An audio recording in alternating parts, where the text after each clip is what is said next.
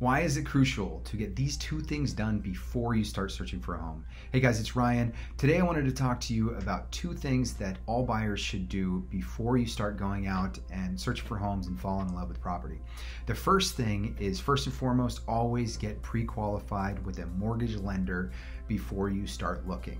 Now, what does that mean? That means that you're going to call a mortgage lender. Either we can send you one if, if, if, you don't have one, we got the best in San Diego, or if you have one, feel free to talk to them as well. Now, what they're going to do is they're going to ask you some questions about your, your job history, your, your credit, your finances. They're going to run your credit and they're going to also ask you for certain documentation, your pay stubs, your bank statements, your tax returns, things like that. And what they're going to do is they're going to qualify you based on all of that information with a dollar amount that you can borrow from the bank in order to buy a home. And they'll also give you what's called PITI, principal, interest, taxes, and insurance. All those things that you pay on a monthly basis, they're going to tell you exactly how much that is.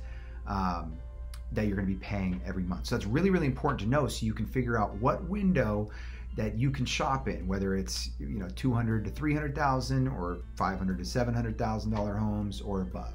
That's the first key to know what price range that you should be shopping, in.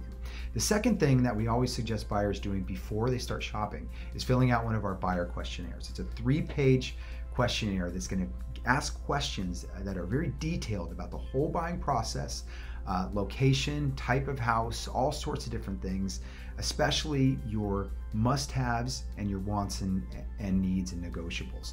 This is especially true for couples out there that are buying a house together. What we always encourage you to do is each fill one out individually and then come and talk about them and give us one back. That way, your requirements, your must haves, and your negotiables, we can figure out where we can put those together to make sure that the homes that we find for you are exactly what you both are looking for. It's very difficult when one falls in love with it and one doesn't. So this is one way to get around that where we fill out the buyer questionnaire, know exactly what you guys want, make the home buying process very, very easy, make it so you're only seeing properties that are really within your price range and that have all of your must-haves and hopefully some wants and needs as well.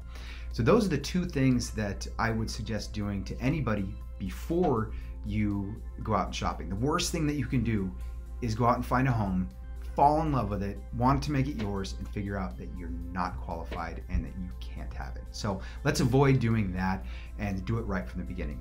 Guys, if you guys have any questions, please let us know. We'd love to help you out in any way we can. We'll see you next time. Take care.